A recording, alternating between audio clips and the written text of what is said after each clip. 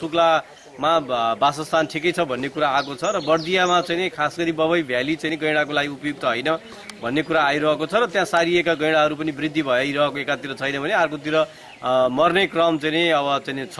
त्यहाँ चाहिँ अब लगेको गैँडा पनि मरिसकेको छ। त्यसकारण अ, बबई भ्यालीको हकमा चाहिँ नि हाम्रो असहमति छ। एउटा स्वतन्त्र विज्ञहरूले अध्ययन गरेर यो चाहिँ ठाउँ उपयुक्त छ भनेर सिफारिस नगर्दासम्म चाहिँ अब बबईमा चाहिँ गैँडा लाने कुराको लागि चाहिँ हाम्रो नैतिक समर्थन छ। गैँडा चाहिँ यहाँबाट शुक्लाफाटा गएको अवसरमा त्यही मौकामा सम्भव भएसम्म प्राविधिक हिसाबले व्यवस्थापकीय हिसाबले कतिसम्म सम्भव हुन्छ त्यो चाहिँ अब हेर्न बाँकी छ।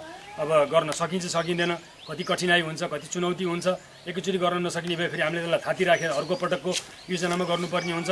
सम्भव भएसम्म हामीले चाहिँ यही बेलामा स्रोत साधन एकैचोटि परिचालन गरेको बेलामा बाह्रसिङ्गा पनि केही सङ्ख्यामा कम्तीमा चाहिने चार पाँचवटासम्म भए पनि अब समय धेरै गर्मी गर्मी हुन थालिसकेको छ। अरू व्यवस्थापकीय हिसाबले हाम्रो चाहिँ एकदम निरन्तर कार्यक्रमहरू वैशाख जेठसम्मका कार्यक्रमहरू बनिसकेका छन्। समय एकदमै छोटो भएको कारणले गर्दाखेरि हामीले एउटा कमसेकम सुरुवात गर्न सकिन्छ कि भनेर त्यो कोसिस पनि हामीले गर्ने चाहिँ हामीले जमर्को गरेका छौँ।